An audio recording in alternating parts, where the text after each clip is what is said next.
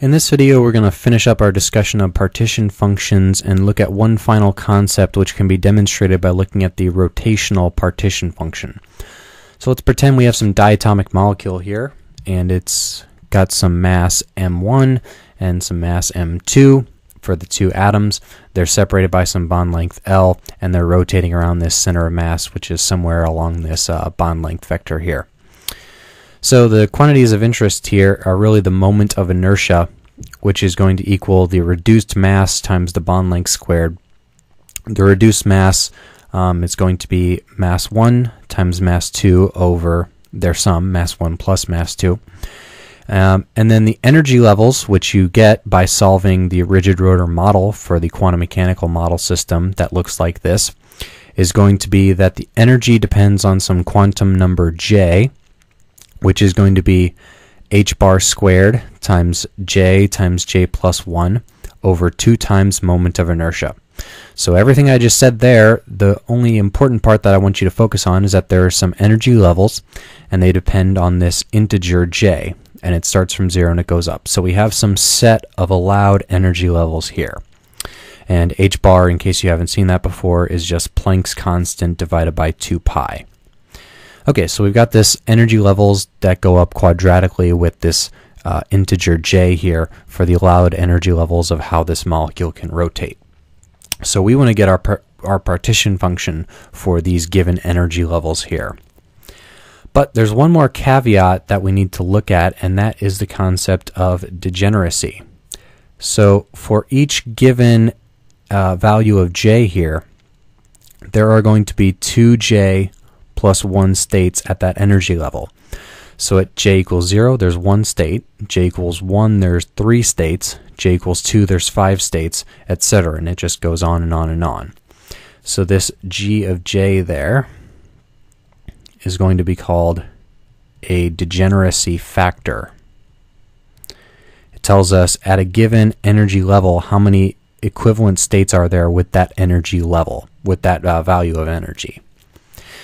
So we need to modify our equation for the partition function very, very slightly when we know we have degenerate states like this. We have Q is still going to be a sum over all of the states. So if we have some index J, but now instead of just being the Boltzmann factor, e to the minus ej over kbt, or equivalently e to the minus beta ej, we also need to insert this degeneracy factor in front here, g of j. So in our sum here, there's going to be a multiplication of the number of states with that energy level times e to the minus beta ej or e to the minus ej over kbt. Those two things are being are equivalent.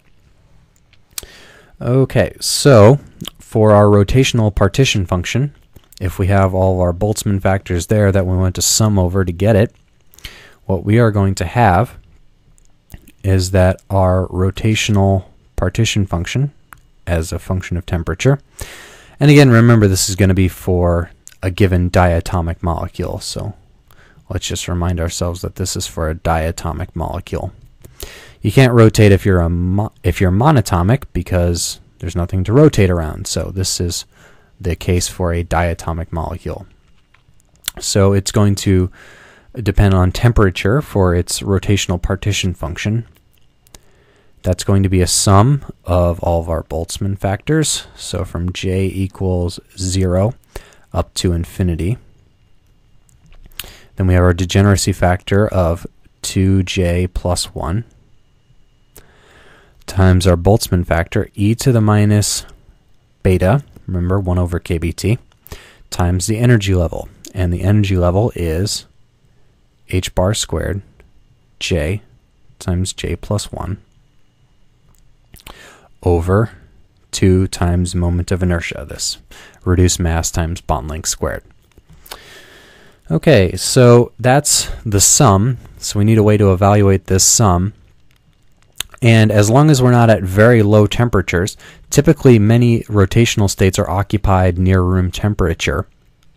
And as long as we're at temperatures where a sufficiently reasonable number of uh, rotational states are occupied, that could be uh, that could be a few to many dozen states that are occupied for a typical molecule at room temperature, and that's just going to depend on what this moment of inertia is relative to this beta to the temperature. As long as we're at a high enough temperature, we can approximate this sum again by an integral. So what we're going to do is approximate this sum as the integral from 0 to infinity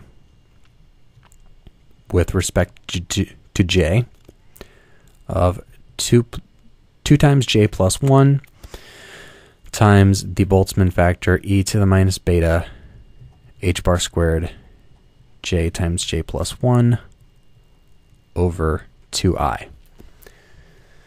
Okay, so in order to evaluate this integral here, we're going to do a substitution.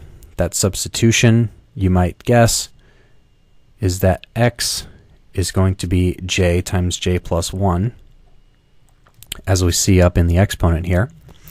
And then, taking the differential of that, dx is going to be 2j plus 1. If you take the derivative of j times j plus 1, you'll get, uh, this is j squared plus j, which the derivative of that would be 2j plus 1. Okay, and then 2j plus 1 times dj. So to complete the substitution, we have that our dj here is going to equal dx over 2j plus 1. So substituting back in, we're going to have that q is going to equal the integral from 0 to infinity. When we substitute the limits for uh, j equals 0, we get x equals 0. When we substitute for j equals infinity, x equals infinity. So the limits stay the same.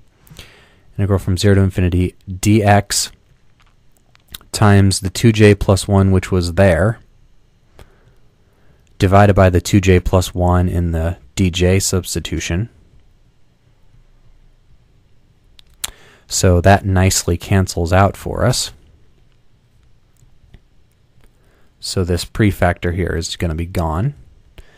And then we're just left with our exponential. We have e to the minus beta h squared j times j plus 1 is just equal to x over 2i. So really what we have here is we need to find the appropriate integral from 0 to infinity of, let's say, dy, just to make it easier, of e to the minus, let's say, alpha y.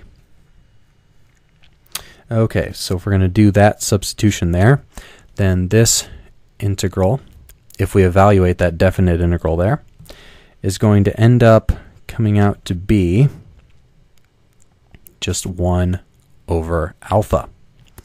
If you substitute that integral and actually find the, the analytical result. So what is the alpha that we have?